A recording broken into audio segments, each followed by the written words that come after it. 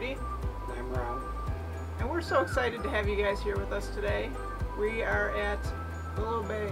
It is part of the Allegheny National Forest in Pennsylvania. in Pennsylvania, yep, right along the New York border. And we are here in October, and tonight it's going to be 32 degrees. It's a little chilly.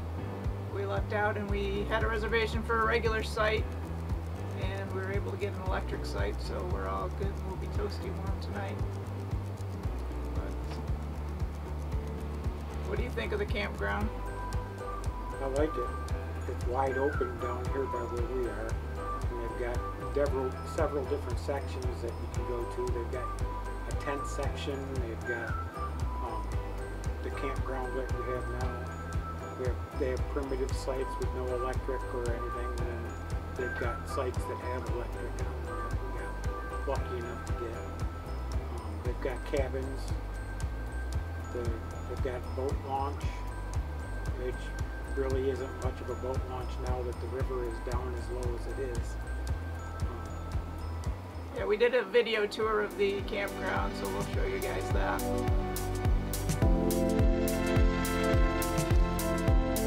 Willow Bay is located in Bradford, Pennsylvania. Just over the New York state line and on the west side of the state. They are open year round. They only have water there though from early April till the end of October. They do have water and flush toilets, and they also have pit toilets available. They have 101 campsites, 38 of which are electric.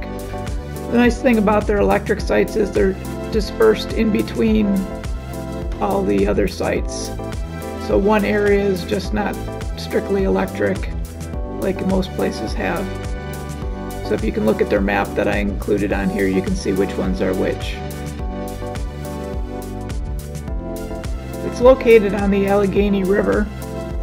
A beautiful area. The campsites that are coming up here are located, they're premium sites. There's an extra charge for them because they're located right on the water area.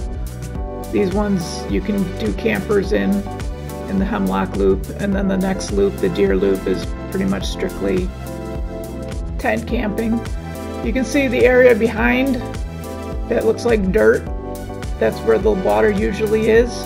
This was shot in October, and usually between um, Labor Day and Memorial Day, they let the water flow so that it fills up so that people can use it for recreational purposes.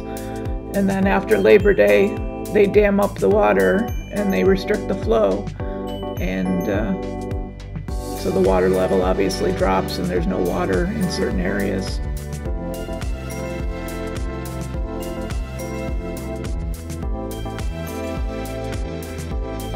As you can see, it's a very beautiful area in the fall, especially when the sun is shining. The area has a lot to offer, both any any season of the year. There's snowmobile trails right nearby.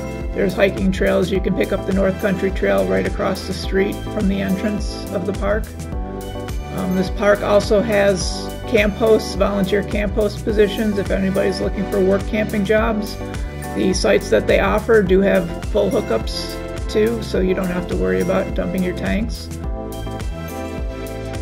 Overall, it's a beautiful park, and we'd highly recommend it.